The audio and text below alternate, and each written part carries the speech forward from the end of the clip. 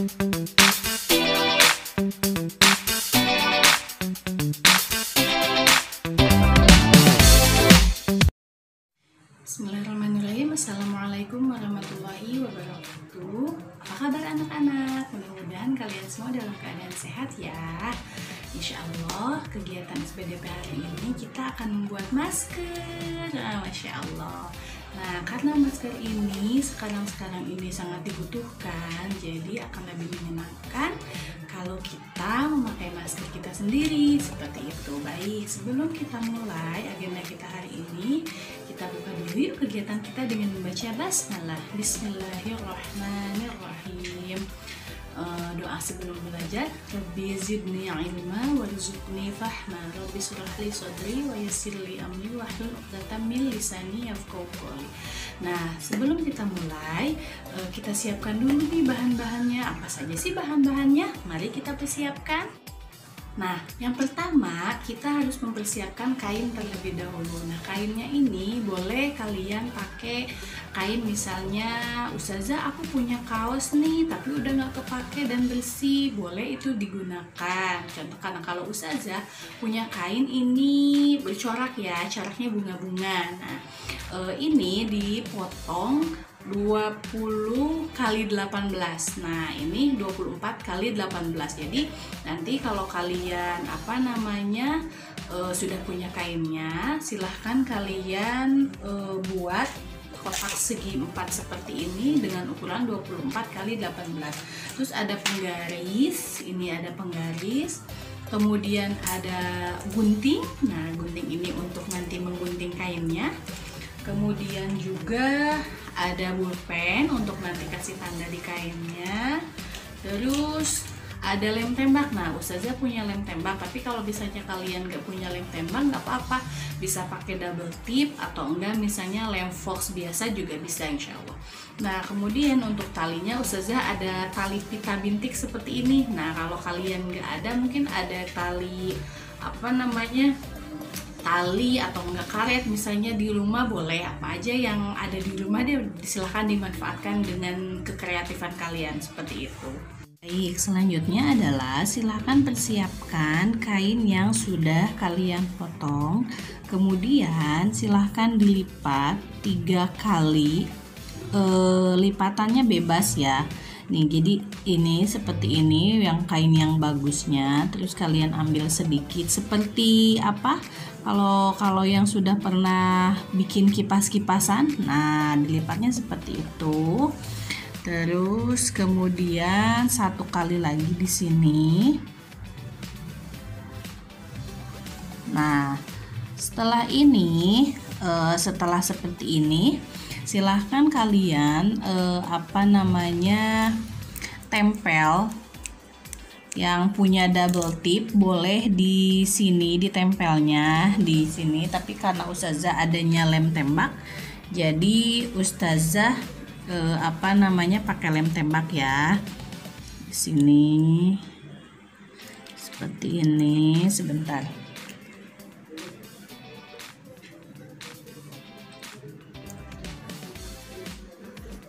jadi di sini biar apa dikasih lem tembak. Terus kemudian di sebelah sini lagi dikasih lem tembak. Lebih enak sih pakai pakai double tip ya lebih lebih rapi gitu nanti hasilnya.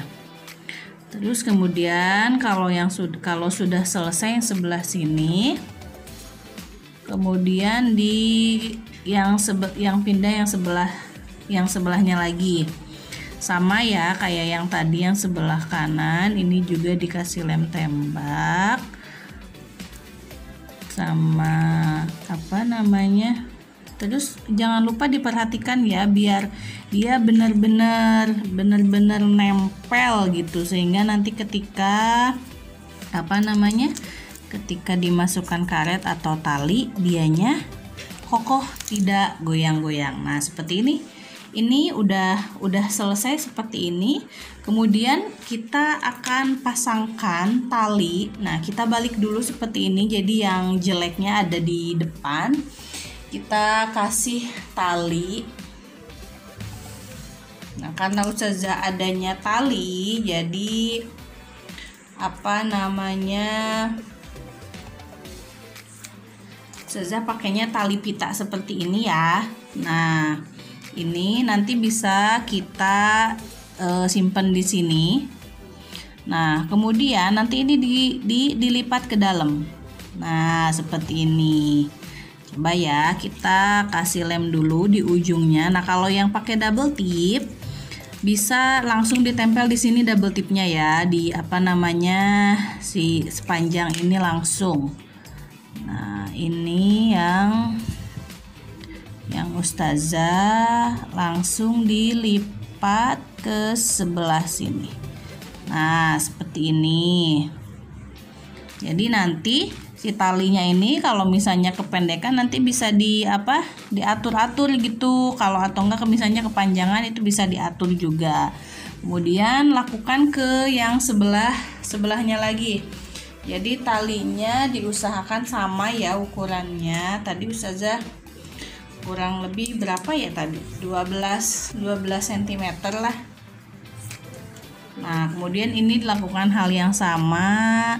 Di sini di sininya apa namanya dikasih lem lagi. Nah kalau misalnya adanya lem fox nggak apa-apa dikasih lem fox sama seperti ini di apa namanya ditempel-tempelkan lemnya terus kemudian dilipat deh Nah seperti ini. Baik kalau sudah jadi seperti ini kita rapihkan nih. Seharusnya memang yang bawahnya ini kalau bisa dilipat ya harusnya tadi ya tapi ustazah lupa nggak apa-apa. Nah kalau sudah gini jadi deh.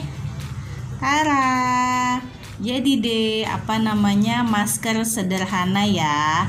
Nah nanti kalau misalnya kalian punya hiasan-hiasan bisa di apa namanya misalnya eh uh, apa namanya kain dasar maskernya ini polos misalnya terus mau ada hiasannya Ustazah boleh boleh banget. Misalnya di bawah sininya dikasih apa gitu terus misalnya dipanggil di pinggir-pinggir mau ada mute-mute atau enggak misalnya mau ada renda-renda misalnya seperti itu boleh tafadol ke apa namanya sekreasi kalian. Nah baik ini udah jadi Masya Allah Alhamdulillah. Nah mudah-mudahan uh, apa namanya uh, tips-tips sederhana dari Ustazah untuk kegiatan SBDK, SBDP hari ini bermanfaat ya. Nah, ini hasil jadinya. Nah, jadi apa nanti bisa diikat di belakang uh, apa namanya maskernya. Nuh, terlihat ya. Nah, jadi deh masker. Masya Allah, mudah-mudahan terus ininya bisa di apa namanya diatur gitu biar nggak ngap. Bisa diatur terserah kalian. Terus talinya juga apa namanya bu kalau yang tak yang karet enak ya, maksudnya elastis gitu.